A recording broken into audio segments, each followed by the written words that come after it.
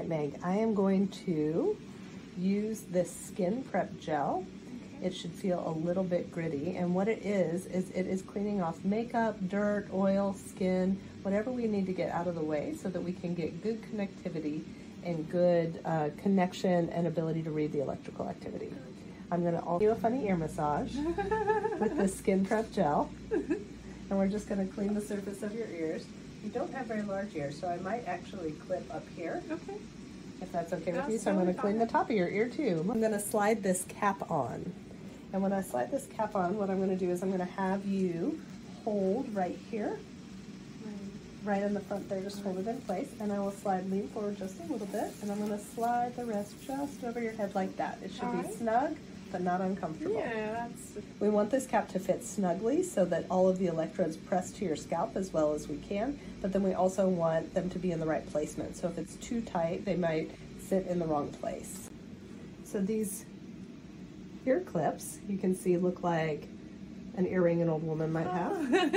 I'm going to put some gel in them right here with this blunt syringe. And then I'm going to place this electrode on your ear. We'll try down here first. Yeah, I think that'll, that doesn't hurt? Does that feel Mm, okay? It feels great. And then I'm going to pull it down over it just like that. Alright. I'm going to take the non-sharp end of this Mhm. toothpick and to use it with the skin prep gel just to move a little of the hair out of the way Oh yeah. to be able to reach your scalp and then move anything off the scalp a little bit that might be getting in the way of connection. Okay. Then I'm going to take, again, the blunt syringe, not sharp. I'm going to stick it right in the electrode here and fill this one up with gel. And what we should see is those little ear bobs on the side there, the little circles that are representing your ears there, Yeah. should move into a range below 10, below 5 is what we're aiming at. Um, so white uh, numbers. And what that is, is it is impedance. Okay. Impedance is exactly what it sounds like. Mhm. Impedance is the amount that is impeding the electrical signal. We want it to be as low as possible so that we can get a good signal. And once those start going down into like white zone, below 10, below 5, Uh-huh. you should see individual little lines populating up over here. So right here, each of these numbers represents one of these spots, uh-huh. which is one of the electrode spots on your head. And so you'll see we'll start to be able to read the electrical activity at each location. Really the main thing that's gonna take time today is we're gonna have each of these little spots, we're gonna have to do the same thing. Oh, gotcha. So I'm gonna use the toothpick. And then I'm going to use the electrode gel and just get it so that we get our numbers down, we're able to see what's happening in your head. Very cool. Do hand you these cotton balls. Okay. I'm gonna have you put the cotton balls over your eyelids. And the reason we do that is because when we have our eyes closed, whether we realize it or not, we end up moving our eyes side to side or up and down, or we have eye movement. And so by putting these over, and then I will use this gauze to wrap it into place and put a little bit of pressure on your eyeballs. Yeah. And really, for the next 10 minutes, you just get to.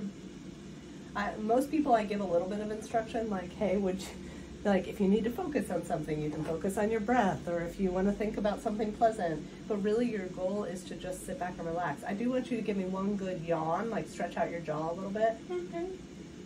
and then let it fall kind of normally back into place. Take a deep breath, shake out any tension that you're feeling in your shoulders and neck, and then we're just gonna sit still. Is that everything mostly comfortable? All right. Then we're gonna start in three, two, one, recording.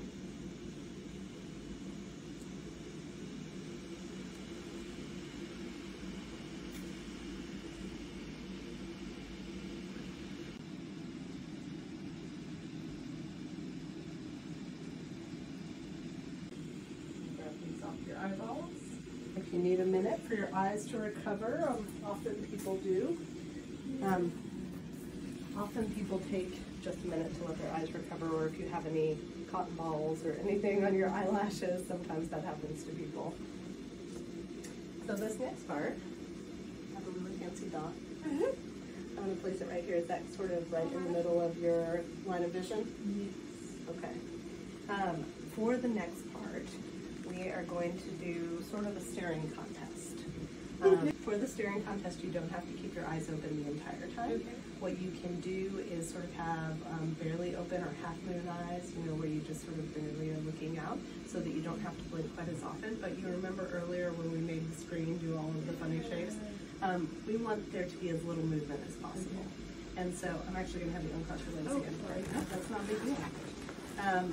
And then it's automatic. It's Automatic, automatic. yeah. Um, so you are not going to be able to have your eyes open for five straight minutes. And so you will need to blink along the way. We can take chunks of time that have good data and then cut out the parts where you've been blinking. So I expect you to blink. Um, what I want though is for you to see if you can give me like 15, 20 seconds, 30 seconds where you are able to hold your eyes open and stare at a single location again because sideways movement's going to be the same. Okay.